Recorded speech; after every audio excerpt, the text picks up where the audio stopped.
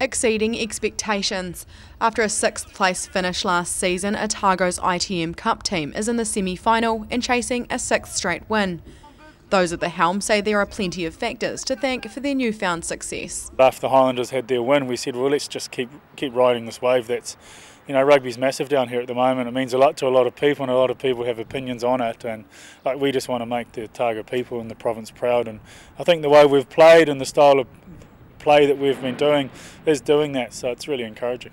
A major change has been Brown's appointment as head coach, but he's not taking all the credit for the team's stellar season so far. It's been awesome. It's the it's not really down to me to be honest. The players have been outstanding, really good leaders, uh, and everyone from you know in the whole squad, even the guys we're bringing in, are contributing really well. So it's a, it's a massive team effort. Players are taking a relaxed approach to the semi-final, reflecting on their earlier loss to Wellington. With more at stake this time around, they're hoping they'll have more luck against the home side than in September. It was a difficult night though, the, the conditions were, were really bad and windy, which is sometimes what you get at Wellington, so that's good preparation for this week. Um, but they're, they're a top class team, so it'll be a tough challenge, but we're looking forward to it. A win against Wellington in Saturday's semi would be the team's sixth straight victory, but the real prize will be a spot in the championship final. Ruby McAndrew, 39, Dunedin News.